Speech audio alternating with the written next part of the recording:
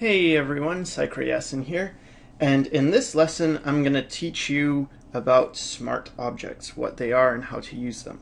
So this is something that my friend Alex Negrea showed me, and I just think it's amazing and I'll, hopefully if you don't know what it is, then after this you'll agree with me that, yeah, it's pretty cool. So here what I have is I just made like a can. Alright, cool. We have a can. And I'm just gonna lock the transparency and I'm going to apply a gradient so that this looks a bit more three-dimensional. And I'm going to merge this down. So okay, now we have this can. Cool. Great, but it's just a regular layer. So we want to make this smart, smarter. So the way you do that is when you have a layer, if you right click on it and you know don't right click on the image but right and just right click on this area where the name is and go to convert to smart object. And what's going to happen is that you'll notice in the little thumbnail icon you get another icon appearing in the bottom corner. Now that means that this is a smart object.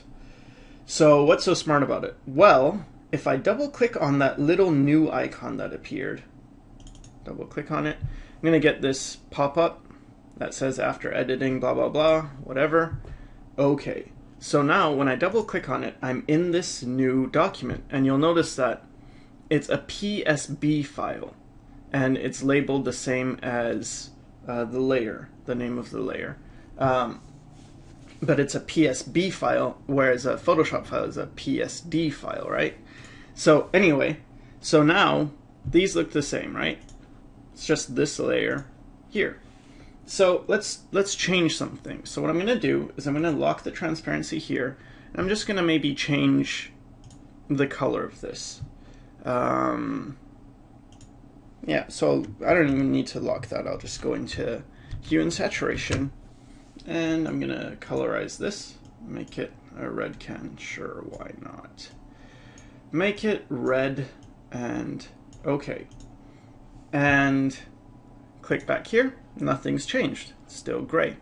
Okay, so now we have our red can. And if I want this to become red, all I have to do is while in this PSB document, I just go File, Save, and that's going to update it. And now, ooh, we have a red can here. So, so far this isn't really magical or impressive because it's like, well, it's just like isolating a layer. That's no big deal, right?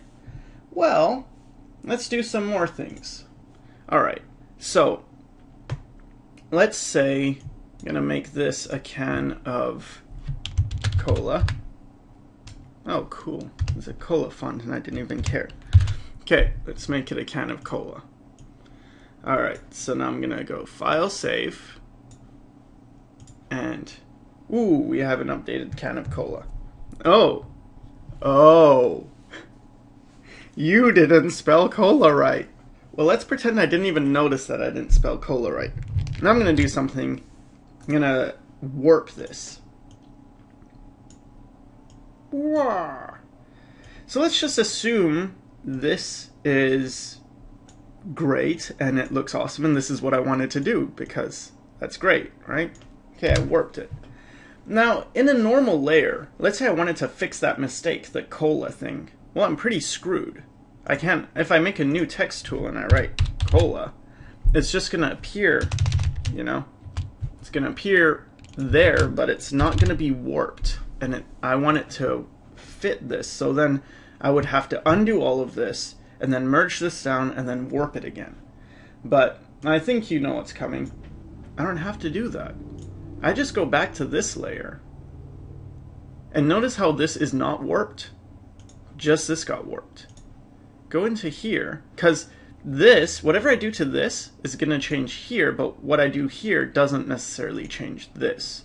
Um, so I'll go here and I'll correct it so it's cola now. Okay, file, save.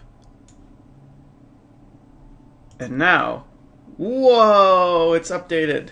And it's cola and it's warped. So pretty much whatever I do here can still be edited, so it's all non-destructive.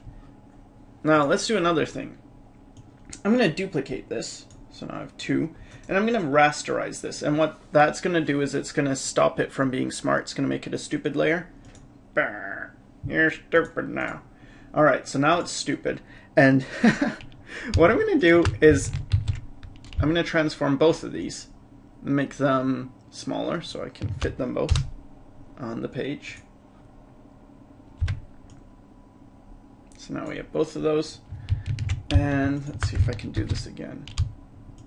I'm going to shrink them way down. That's that's pretty tiny. Let's see if we can see them.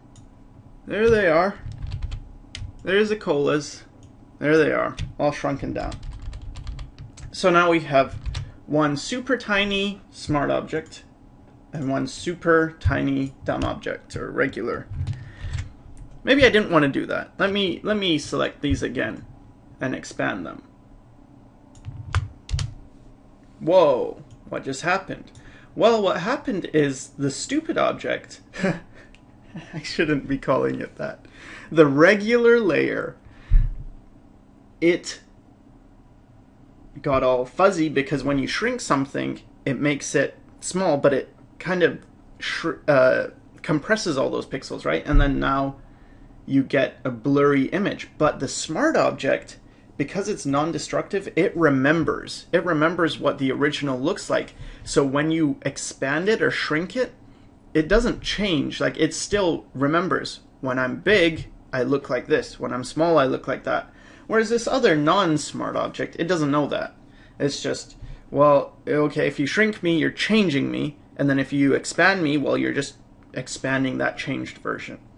So anyway, um, that's it about smart objects. I hope you give it a try. It's really quite cool.